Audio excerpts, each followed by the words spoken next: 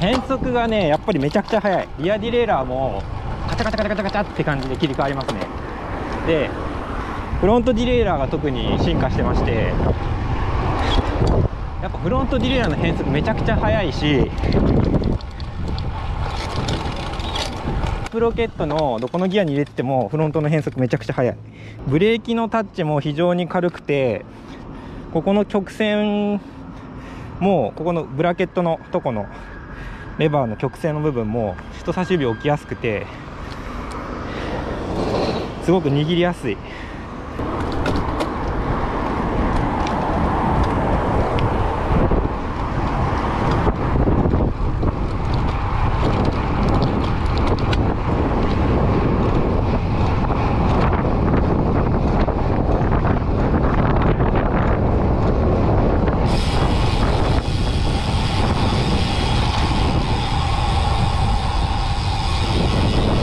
この R9200 の発表を見たときに、えー私としては2つ注目したところがあって1つは、まあ、変速性能の向上ですね。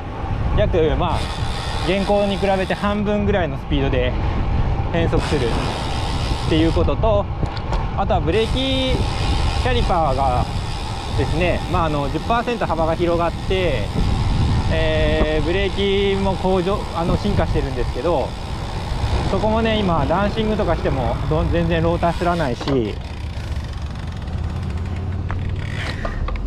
その幅を広10%アップでしたかね。幅が広がって何かそのなんですかね遊び量とか変わるんかなと思ったんですけど全然あの自然な感じでしっかり止まってくれるっていう印象です。はい。でこの2点が気になってね試乗しに来たんですけどえー予想以上にいいですね。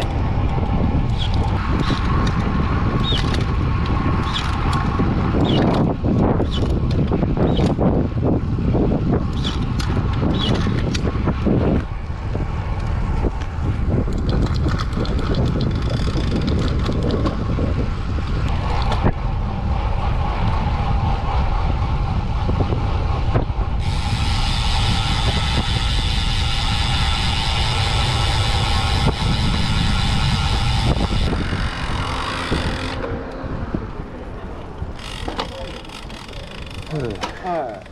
あ、お疲れ様です。どうでした？